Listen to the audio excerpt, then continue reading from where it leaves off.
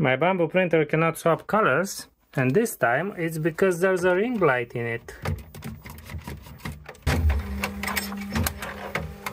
Ah, these printers. There you go. Now print.